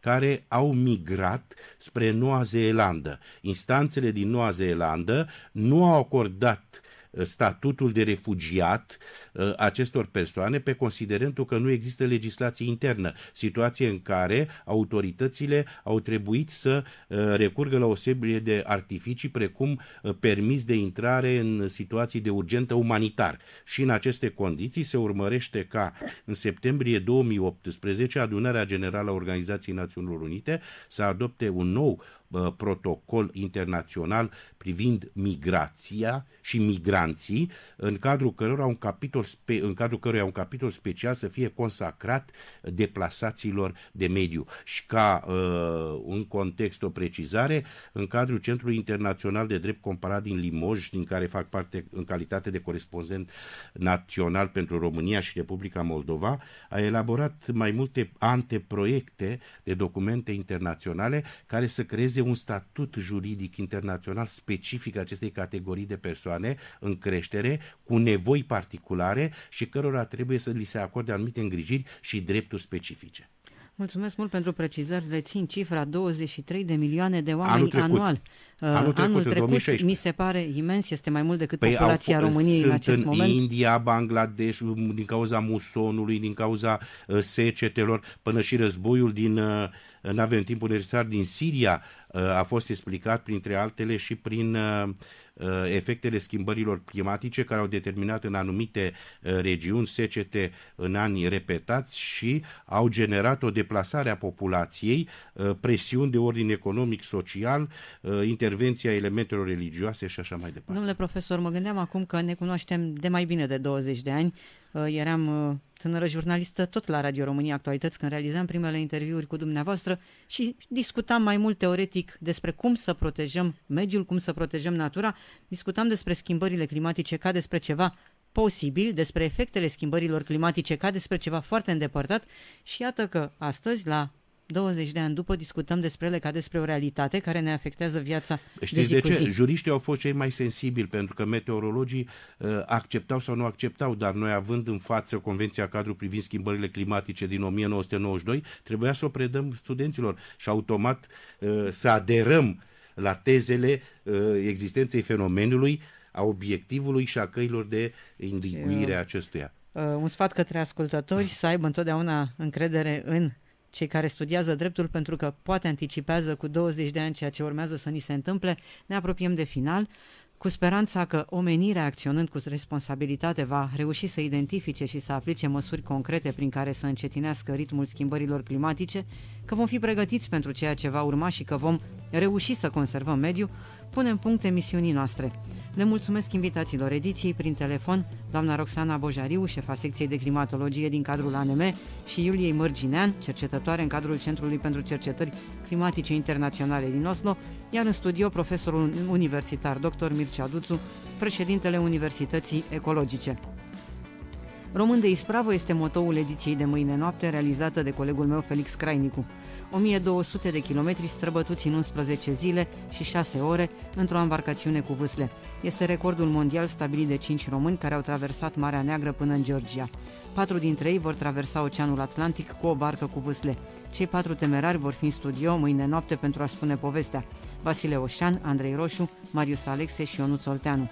Au fost alături de mine în aceste două ore Luminița Apostolescu, Lucia, Luciana Gingărașu și Mariana Câmpeanu, redactorii ediției, Dana Burcea și Mariana Băjenaru, regizor de emisie.